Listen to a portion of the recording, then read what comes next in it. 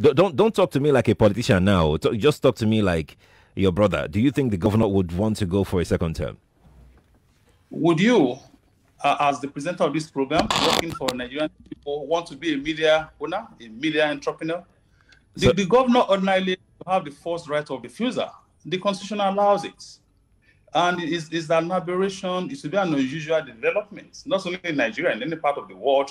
If you are constitutionally allowed to run for two terms, and for any reason you will not want to run for another term, so naturally, the governor will want to go for another term. He has embarked on a whole lot of projects hmm.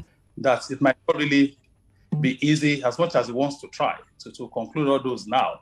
And let me also tell you, the, the popular opinion out there, there was a popular opinion poll yesterday whereby it was established that as many as many as 71.40% of eligible voters in Lagos want him to return for another term.